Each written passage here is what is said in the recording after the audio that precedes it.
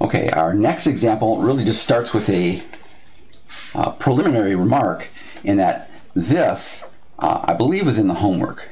Something like the square root of 1 plus the square root of x like that, all over the square root of x like that, and dx like that. Um, we can actually do that one by guess and check. Well, that's not the one we're going to do here. We're going to do one that looks simpler. The one we're going to do is going to look like integral, and I want the square root of 1 plus square root of x dx. Um, we can't do this one by guess and check. um, the reason being, by the way, is that the inside function, the blob, would be 1 plus square root of x. The derivative of the blob would be 1 over 2 square root x, and there's nothing like that here, so guess and check won't work. Substitution will, though. So what I'm going to do is walk over here, move this up a little bit without it killing anything. Let's just see. I'd like to use as much of this board as I possibly can get. Let's see here, over here. Right, um, I'm going to put a little X right about there.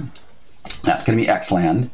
Hopefully that's going to give me enough room to actually do this. Remember, this is going to be our workspace. This is the only place where we can actually write W's and X's together. And down here, this is going to be W land, where hopefully we get an integral in the end um, that we can do. Now, how do we start? Um, how did we start by guess and check? We looked for a blob, and that's actually always the right thing to do first. So I'm going to write down w equals 1 plus square root x.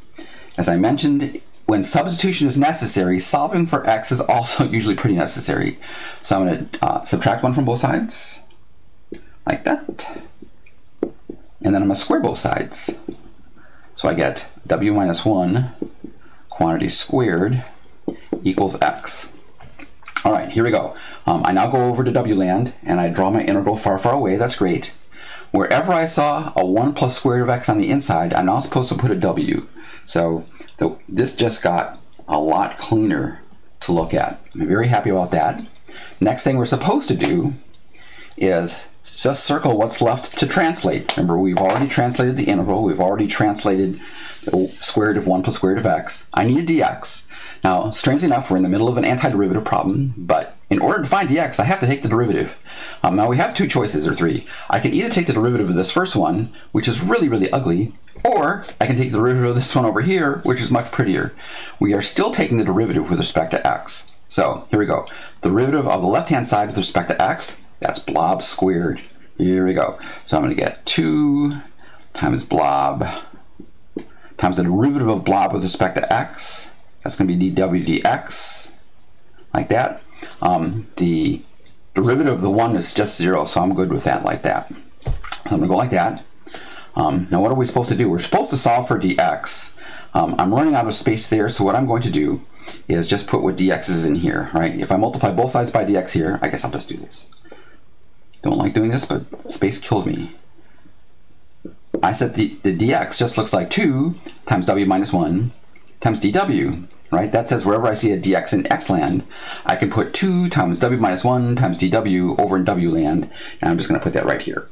2, I guess I don't need that much space, times w minus 1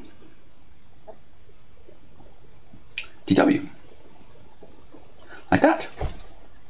Now again, we have a brand new integral. Um, this doesn't match my derivative table. Uh, I really can't do that by guess and check. I can uh, distribute like we did before. So I'm going to distribute. Let's see here. And the 2 is still on the outside. I haven't done the integral yet. Uh, that's w to the 1 half times w. That's w to the 3 halves. Minus w to the 1 half. Like that. Ta-da. Ta-da. Ta-da. Like that. Let's see here, and I want to do this integral. I'm going to erase my little w over here so I have a little more space. The 2 goes along for the ride. It works with derivatives, works with antiderivatives. I want the antiderivative of w to the 3 halves. Well, it's a power function. I raise the power to 5 halves. I divide by 5 halves. Um, I will usually write this as 2 to the fifth, 2 fifths times w to the 5 halves. You can see that when I take the derivative of that, I do get my w to the minus w to the 3 halves, sorry.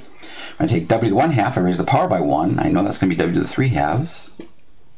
I'm next supposed to divide by 3 halves, but I multiply by 2 thirds instead. It's more space. I like it. Now, um, we turn it into an antiderivative we could do. We have an answer, but our answer is w's, and the original thing said find all functions whose derivative has x's in them.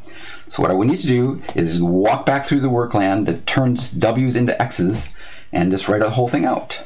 So what I'm going to write out is 4 fifths, if I can write this out, times w, that's 1 plus square root x to the 5 halves, like that.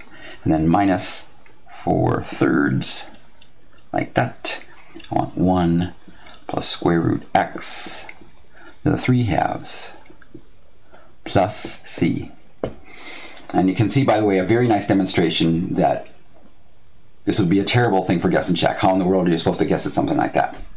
All right, second example done.